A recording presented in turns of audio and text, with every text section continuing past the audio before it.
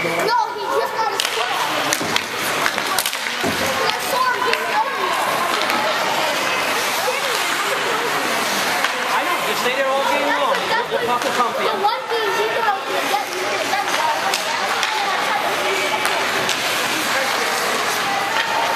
Come on, Christian.